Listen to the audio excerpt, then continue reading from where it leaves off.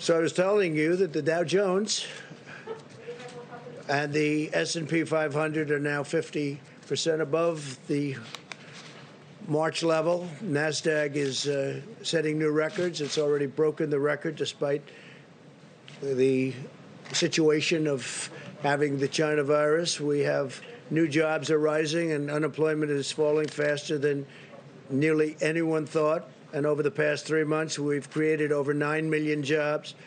And that's a record, a three month record. If you add it up, it's a three month record by far. And we've beaten expectations by 12 million. We're 12 million above expectations, which is pretty remarkable.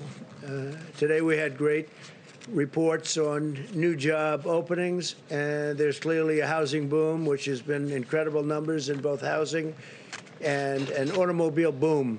Uh, we've rarely seen anything like it, and it's going on right now in America. Inventories are at rock bottom. Used car sales are at record levels.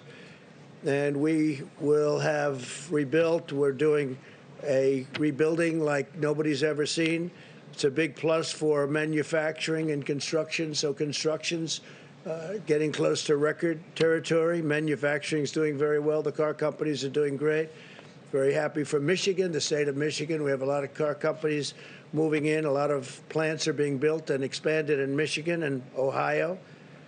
There is no reason why the economy can't grow at a 20% pace in the third quarter. That would be a record. And interestingly, it'll be a, uh, a number that's going to be announced before November 3rd. It gets uh, announced probably around November 1st, which is very interesting. But it's it's going to grow at a very substantial pace based on all of the numbers we're looking at, and probably a lot more substantial than we originally thought.